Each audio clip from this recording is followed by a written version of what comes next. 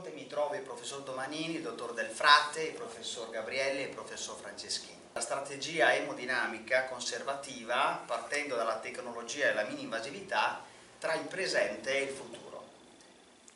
Eh, partiamo con una domanda che è rivolta a tutti i nostri eh, eh interlocutori e, e, questa domanda eh, nel 1988 il professor Franceschi ha presentato la metodica Shiva, una metodica per affrontare le problematiche del paziente affetto dalla patologia venosa degli arti inferiori e aveva due obiettivi principali. Prima di tutto la conservazione del capitale venoso e il secondo obiettivo è quello di preservare e mantenere il drenaggio dei tessuti. È una eh, strategia e non una tecnica e a questo punto è una strategia che va sempre in evoluzione col tempo, quindi dall'88 da oggi vi chiedo, è cambiato qualche cosa?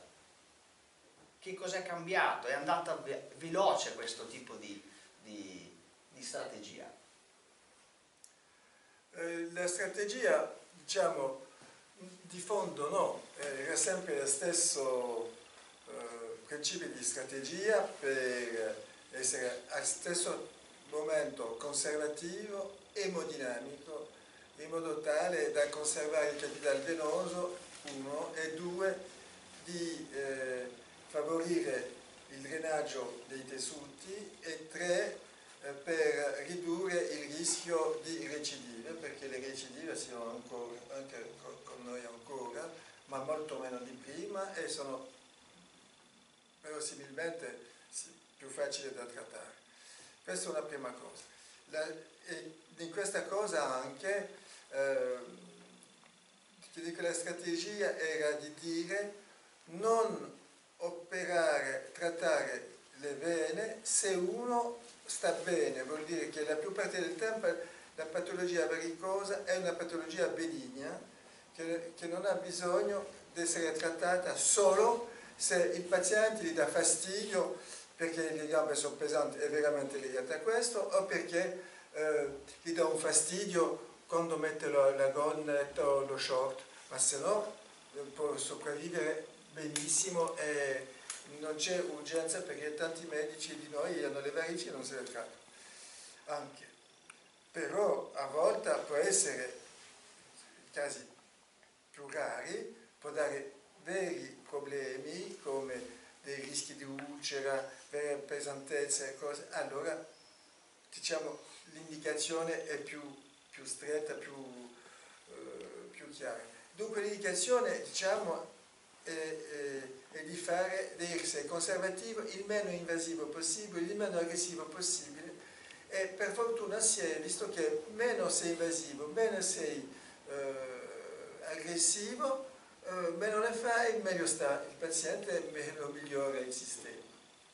Perché devi toccare il punto giusto, quando, eh, la, questa è la strategia. Allora l'evoluzione è stata più legata alla tattica, nel senso che le, le, si fa sempre sotto anestesia locale, eccetera, però il filo utilizzato, eh, come eh, le compressioni e le cose post-operatorie sono state modificate col tempo, migliorate, non grazie a me, ma tanti altri che hanno fatto questo metodo, che avevano delle, delle buone idee, eh, tanti, particolarmente in Italia, devo dire, anche in Spagna, e adesso anche con il dottor Del Frate che ha partecipato molto a questa evoluzione per migliorare le condizioni operative eh, da qualche anno adesso.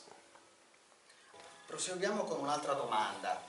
Eh, la Shiva, abbiamo detto, è una strategia che parte dalla diagnostica ed in primis dalla conoscenza del sistema emodinamico dei flussi nel sistema superficiale profondo.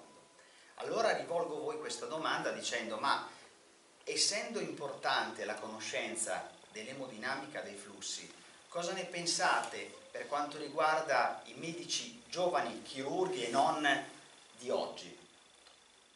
Eh, come sostengo da tempo, la, la Shiva ha, ha rivoluzionato l'approccio verso la, la terapia della, della, malattia varicosa, sia ovviamente per chi l'ha praticata sin dall'inizio, sia per chi si occupava eh, di questa patologia in maniera diversa con, con altri tipi di interventi, ma ha obbligato tutti a guardare con attenzione eh, lo sviluppo, la patologia della, della, della, della vena safena, della malattia varicosa. Quindi questo è il merito indiscusso e assoluto.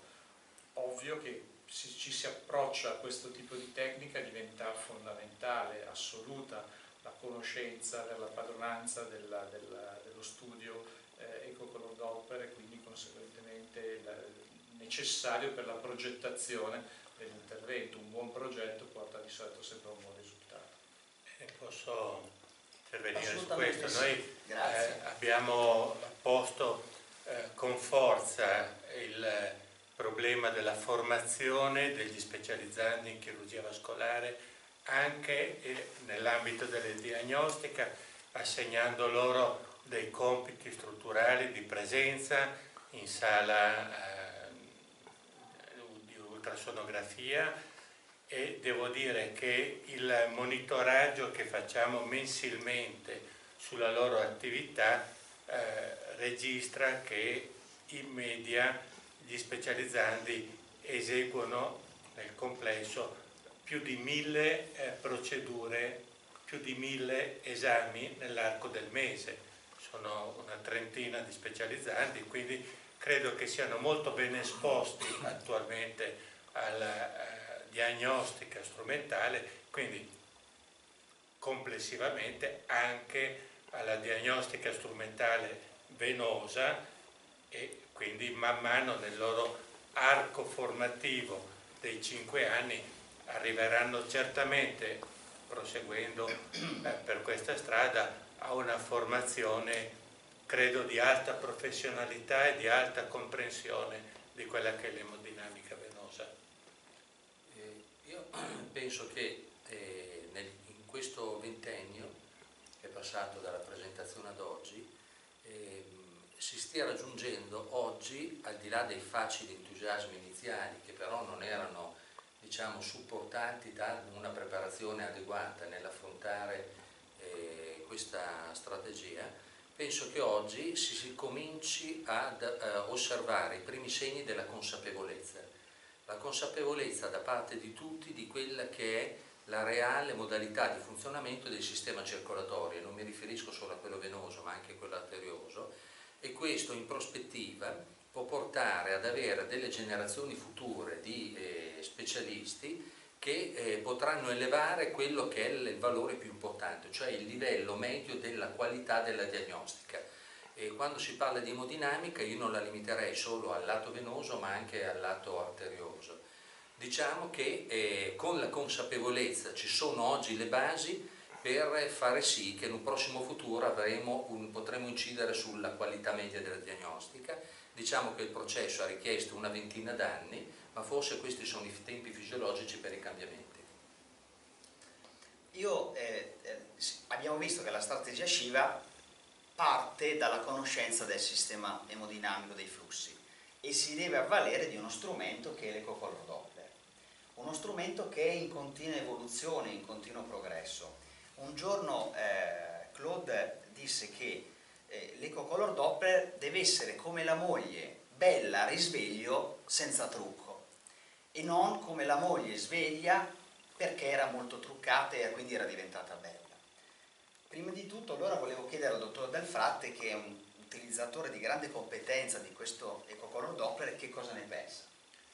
Allora, noi quando parliamo di ecocolor Doppler dobbiamo distinguere un hardware, che è la funzione di base della macchina, da un software, che sono tutte le lavorazioni di quello che la macchina rileva sul paziente e che dopo una sua elaborazione ci presenta. Per cui diciamo bisogna sempre tenere presente che c'è un'elaborazione delle immagini, per cui bisogna imparare a fidarsi delle macchine, magari non esagerando con i software e imparare attraverso l'esperienza e la competenza personale ad affidarsi molto all'hardware, eh, che è il cuore del sistema diagnostico.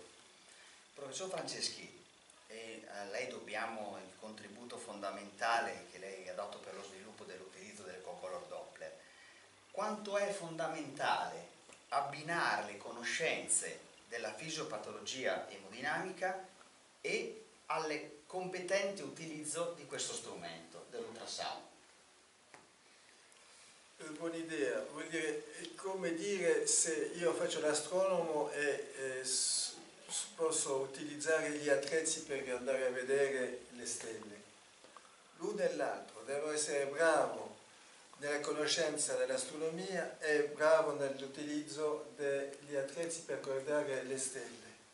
E uno e l'altro, migliorando le le, le, gli attrezzi, migliori la mia veduta sull'astronomia e viceversa. Vedendo le cose ho bisogno di modificare gli attrezzi per vedere meglio quello, quello che ho bisogno di vedere.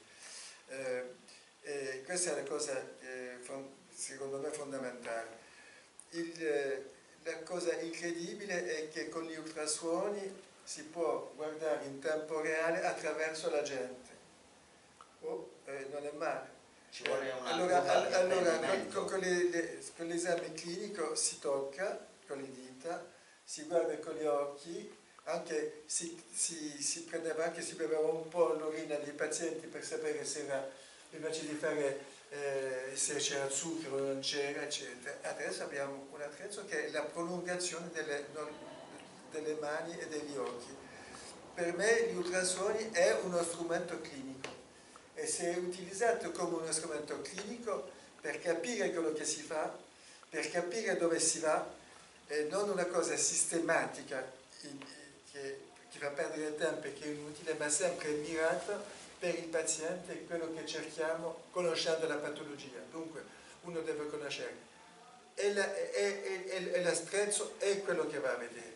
Quello che va a vedere, ad esempio io posso dire per, per eh, la mia esperienza, se ho avanzato un pochino nella conoscenza dell'emodinamica eh, vascolare in generale e adesso in particolare sul venoso, è grazie a questi attrezzi che mi hanno fatto vedere tutti i giorni meglio, capire meglio, interrogarmi meglio su quello che vedevo e poi dietro andavo anche a modificare l'apparecchiatura per, eh, per modificare le cose.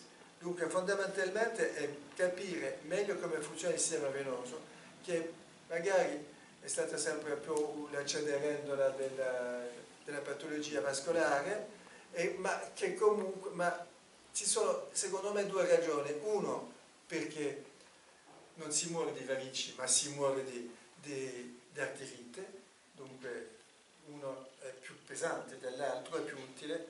E la, la seconda cosa è che eh, era, i chirurghi operavano, il trattore delle varici sempre queste, erano sempre le recidive, va bene, comunque la patologia che... A un momento quando non capisci fai come se non hai visto e così è meglio, così dormi tranquillo. E siccome non avevo una grossa incidenza sul paziente, diciamo, vitale, allora non ho lasciato perdere.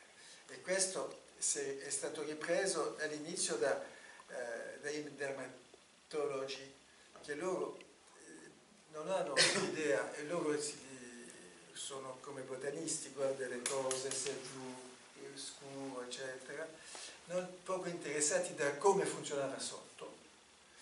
E, e poi adesso è tornato, vuol dire, c'è un tempo che è arrivato. Io credo che se non avessi io avuto il Doppler e quei sistemi, non avrei potuto fare tutto questo.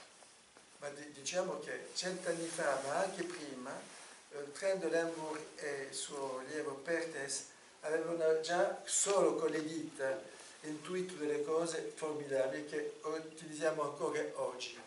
È proprio questo che volevo chiederle. Sì. Eh, nonostante noi ci, nella diagnostica venosa emodinamica usiamo dei test gravitazionali dinamici, ma si utilizzano anche de, delle prove storiche che c'erano state nella sì, storia, sì, che magari qualcuno ha già abbandonato nei libri.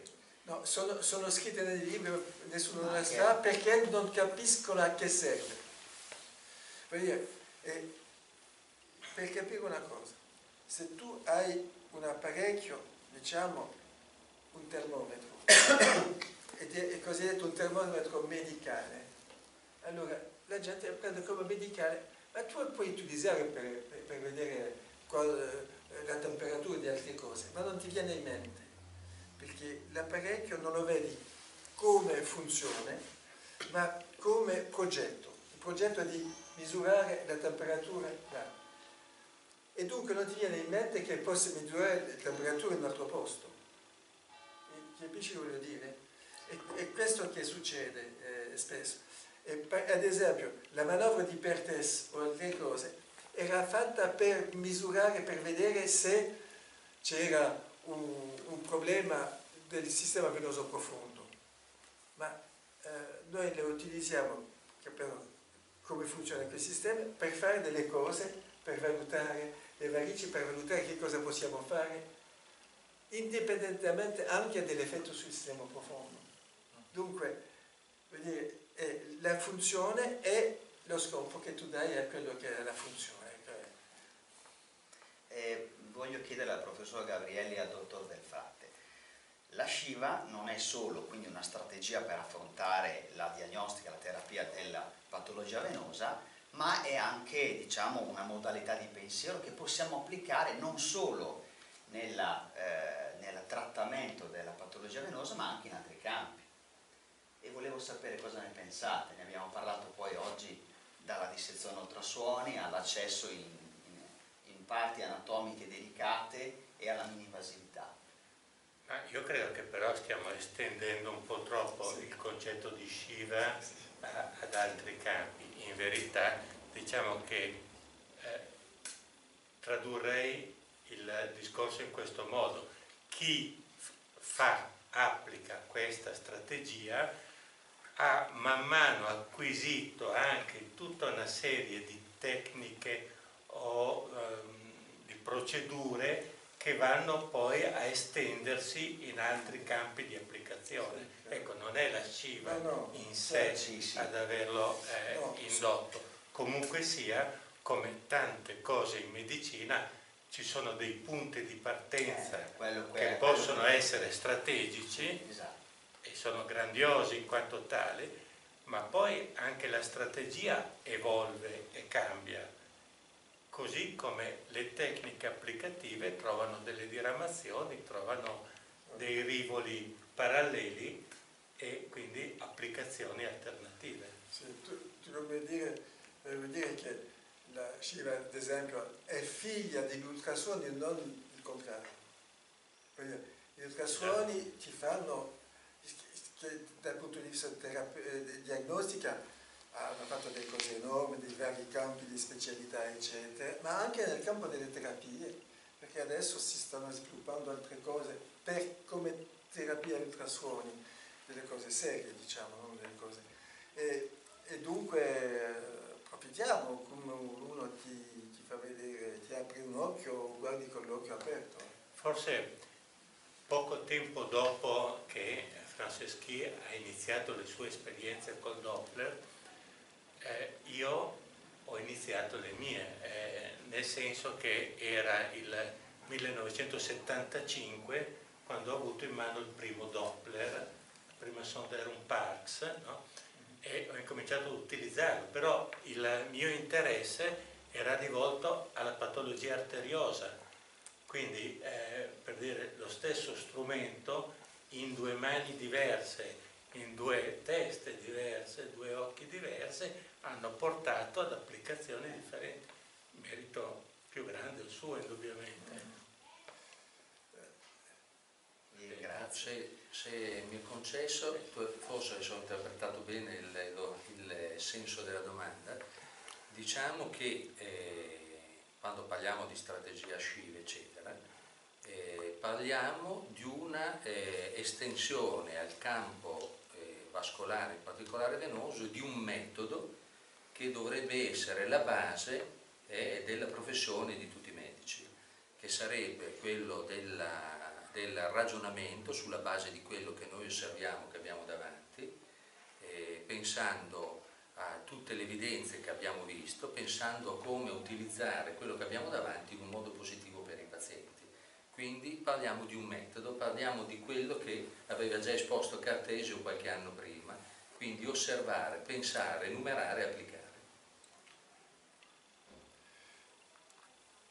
Eh, voglio concludere, visto il, il titolo della sessione ultima che stiamo facendo, era la tecnologia mini-invasività farà il presente e il futuro. E allora vi chiedo, eh, cosa ne pensate? Dove stiamo andando adesso? Eh, che cosa ci dobbiamo guardare? Che cosa dobbiamo fare per poter andare avanti o siamo ancora fermi, stiamo andando a una velocità della luce, stiamo andando ancora troppo lentamente? Cosa ne pensate un attimo fra questo presente e il futuro che arriverà? Ma io penso che progresso nella mia idea in campo scientifico eh, parta da una riduzione del numero di strade sbagliate che si prendono in medicina, per cui passa attraverso l'elevazione della qualità delle prestazioni che la classe medica dà. Per cui al di là di eh, fare una, elencazione di eh, tecnologie, perché la tecnologia di per sé non ha un'intelligenza che gli permette di decidere in proprio, ma può essere intelligente il modo in cui viene applicata, io direi che bisogna parlare di un miglioramento dell'educazione all'applicazione di un metodo. Questo è il vero progresso. Dopodiché si possono utilizzare le tecnologie quando si vede che sono funzionali all'ottenimento di un obiettivo, quando l'ottenimento di questo obiettivo ha un razionale basato sulla conoscenza della fisiopatologia. Meglio debba ancora venire ancora tante, tante cose da, da, fare, da scoprire, utilizzare anche strumenti di ricerca che adesso sono solo a livello accademico, per studi molto approfonditi, per poterli poi passare all'applicazione quotidiana. E così come è successo con il Doppler, ovviamente all'inizio è uno strumento assolutamente d'avanguardia, è diventato eh, a basso costo e nelle mani di tutti, succederà questo con tante altre cose. Comunque se eh, pensiamo un attimo, vediamo che esiste un enorme divario tra quanto è oggi la ricerca e l'applicazione tecnologica nel settore arterioso rispetto al settore venoso. Il settore venoso oggi come oggi è molto trascurato dalla ricerca e dall'industria adesso connesso. Credo che eh, nel futuro si dovrà senz'altro rivolgersi con maggiore attenzione a questo settore. E credo che anche lo sviluppo farmacologico, così come è stato per le arteriopatie, lo sviluppo farmacologico abbia molta strada da percorrere nel settore venoso per arrivare, mm, non dico a eliminare totalmente eh, la problematica dell'insufficienza venosa superficiale, ma senz'altro a ridurne la competenza chirurgica. Però ancora non lo so. Eh, allora, io ritengo che se continua così per sempre, il, il progresso tecnologico sarà rapido, sempre più rapido. Il progresso scientifico non sono sicuro che sia così rapido. Perché eh, troveremo sempre un attrezzo più sofisticato per fare qualcosa, ma per sapere se si deve fare questa cosa o no, che è la scienza, è molto più lento. E si vede anche in patologia arteriosa, ad esempio con tutte le tecniche endovascolari, eccetera, ci sono delle, sempre ralancate di nuovi attrezzi, di nuove cose, eccetera, che comunque migliorano col tempo, ma eh, miglioreranno anche nel sistema venoso, che le attrezzature, come no. Ma fino adesso, finché non sono arrivate allo, allo scopo di prima, non ci siamo ancora. Ma spero che tutto l'endovascolare arriva a fare così bene che la chirurgia aperta. Perché fino adesso questo che è pericoloso è che tutti i giovani e tanti giovani chirurghi eh, si sono più spinti a fare l'endovascolare che la chirurgia aperta, non, non dappertutto, ma in certi posti, nel maggiore dei posti, e non, ha più, non avevano più la manualità per operare certo. correttamente, che è una cosa importantissima. Dunque, la gente deve pensare che non è perché c'è oro che dietro c'è diamante. Vi ringrazio tutti per essere stati insieme in questi due giorni. Grazie ancora. Grazie a voi. Grazie. Goodbye. Goodbye. Have a good day.